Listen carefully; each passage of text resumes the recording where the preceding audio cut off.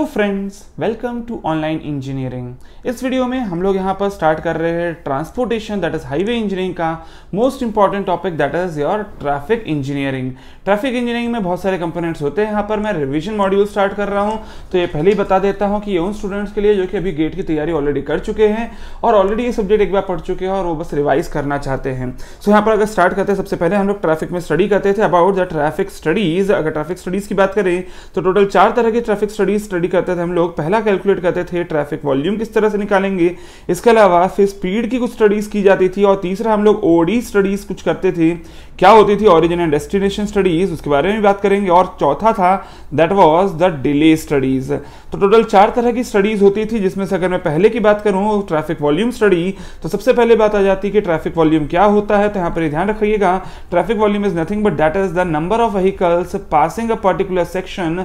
of road in a particular given time period जिसके लिए unit हो जाएगी vehicles per hour and that unit can also be written in terms of vehicles per day और can be in the vehicles per minute यहाँ पर जो आपका time की ड्यूरेशन है, वो ज़रूर चेंज हो सकती है, लेकिन यहाँ पर नंबर ऑफ़ व्हीकल्स रहेंगे। ये नंबर ऑफ़ व्हीकल्स अगर आप क्लासीफाई करते हो और उसको कन्वर्ट करते हो इनटू अ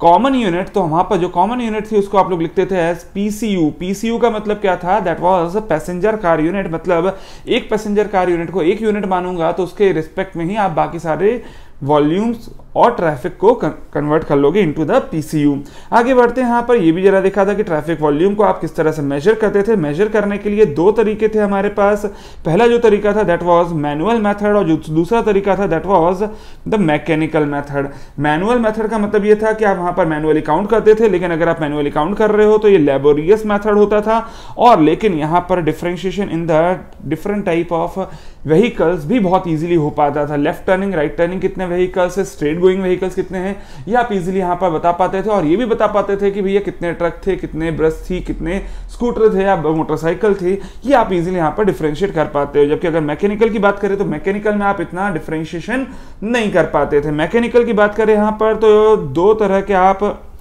यूज़ करते थे डिवाइसेज जिसमें पहले का नाम था मल्टीपेन मीटर और दूसरे का नाम था दैट वाज न्यूमेटिक होज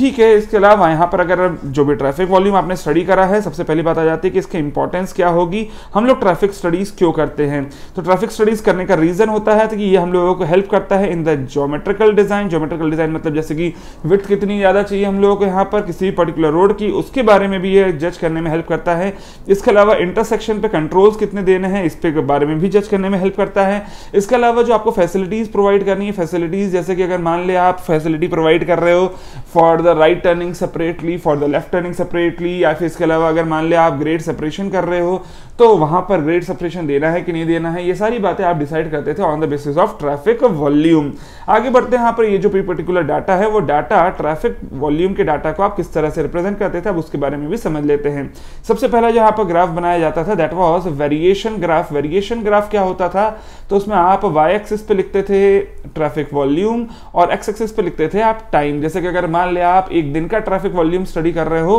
तो पक्की बात है ट्रैफ़िक वॉल्यूम एक कभी बहुत ज़्यादा होगा कभी एकदम से कम हो जाएगा। तो कुछ इस तरह का यहाँ पर ट्रैफ़िक वॉल्यूम देखने को मिलेगा with the with the hours तो इस पर्टिकुलर वेरिएशन को आप लोग बोल देते थे as the diurnal variation but वहीं अगर सीजनल वेरिएशन की बात कर रहे हो तो सीजनल वेरिएशन में देखिए कुछ सिटीज़ होती है जहाँ पर कई बार होता है कि कुछ फेयर लगा है या फिर कोई एक पर्टिकुलर प्रोग्राम हो रहा है तो वहाँ पर हो सकता है कि किसी एक मंथ में बहुत ज़्यादा कभी ट्रैफ़िक आ जाए और तब वहाँ पर हम लोगों को कुछ वेरिएशन ज़रूर देखने को मिल सकता है, लेकिन ट्रैफ़िक वॉल्यूम सीज़न के साथ बहुत ज़्यादा वेरी नहीं करेगा। तो ये जो पर्टिकुलर हम लोगों ने ग्राफ बनाया है, जिसमें वाई एक्सिस पे तो आपने दिखाया क्यू ही, लेकिन एक्स एक्सिस पे जो टाइम लिख रहे हो टाइम की यूनिट क्या हो जाएगी? यहाँ पर अगर सीजनल वेरिएशन दिखा रहे हो तो ये मंथ्स हो जाएगी, जबकि अगर आप ड्यूरिनल वेरिएशन दिखा रहे हो तो वहाँ पर टाइम की यूनिट हो जाएगी अवर्स तो ये दोनों ही ग्राफ्स जो थे these are the variation graphs इसके अलावा दूसरा यहाँ पर बनाया जा सकता है ट्रेंड चार्ट ट्रेंड चार्ट एक पर्टिकुलर रोड के लिए ही बनाया जाएगा और ईयर वाइज अगर आपको वेरिएशन दिखाना है ऑफ़ द ट्रैफ़िक तो आप दिखा सकते हैं, जैसे कि अगर मान ले 2001 में यहाँ पर कुछ इतना ट्रैफ़िक था बट अगर मान लें टू में जाके कुछ ट्रैफ़िक बढ़ गया, हो सकता है कि कुछ एक पर्टिकुलर रेट से बढ़ रहा था और एकदम से इंक्रीज हुआ तो ये जैसे मान लें तो 2004 का 2005 में उस पर्टिकुलर रोड के आसपास कुछ कंस्ट्रक्शन हुआ, जिसके कारण ट्रैफ़िक वॉल्यूम बहुत ज़्यादा बढ़ गया। तो इस तरह का जो ये पर्टिकुलर ग्राफ बनता है, इसको हम लोग क्या बोल देते हैं एज अ ट्रेंड चार्ट वहीं इसके अलावा थर्ड है, अगर बात करें तो third method for the representation of traffic volume data is the ADT ADT का फुल फॉर्म था एनुअल एवरेज डेली ट्रैफ़िक इसको किस तरह से रिप्रेजेंट करेंगे तो यहाँ पर ये ध्यान रखिएगा this is the average daily traffic but that is actually based on study which is greater than और equal to the one year. तो अगर आपके पास कोई ऐसा ऐसा डाटा है जिसमें आपने एक साल से ज़्यादा की स्टडी करी होगी तो उस पर्टिकुलर डाटा के बेसिस पे जो भी आप एक दिन का वहाँ पर ट्रैफ़िक वॉल्यूम बताओगे, उसको बोल देते हो as A A D T वहीं इसके अलावा एक और टर्म पड़ी थी that was A D T A D T क्या था? That was the average daily traffic जो कि एवरेज एक दिन का ही ट्रैफ़िक है but that is on the basis of a study which is lesser than one year इसके अलावा हम लोग यहाँ पर ट्रैफ़िक वॉल्यूम डायग्राम्स भी बना देते थे, जैसे कि अगर हम लोग बात करें यहाँ पर ट्रैफ़िक लाइंस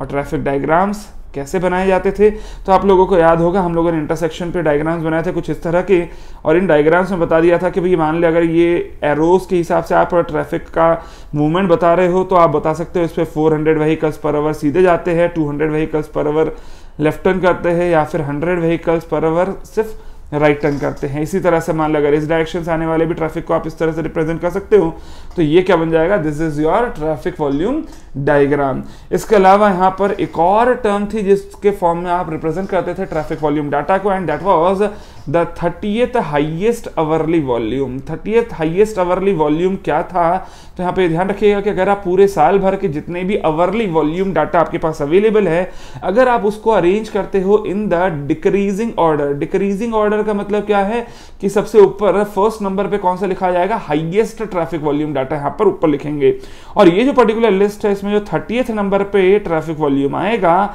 उसी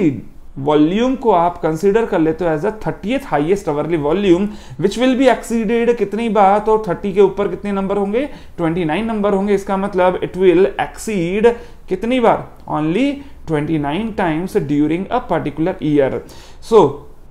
in a year इस पर्टिकुलर जो ट्रैफ़िक वॉल्यूम है, इसी को कंसीडर करते हैं हम लोग as the design traffic volume. तो यहाँ पे ध्यान रखिएगा, डिज़ाइन ट्रैफ़िक वॉल्यूम क्या लिया जाता है? ऑलरेडी आपको ये गेट में एक बार सवाल पूछा जा चुका है। हो सकता है कभी ग्राफ बनाकर दे दे आप लोगों को और पूछ ले कि नहीं बताओ, चलो मेरे को थर्टी हाइएस्ट वाली वॉल्यूम क्या होता है? या फिर आपको टेबल फॉर्म में डाटा दे दे तो उसके बारे में ज़रूर ध्यान रखेंगे। इसके अलावा जो सेकेंड यहाँ पर हम लोग स्टडी करते हैं that is the speed studies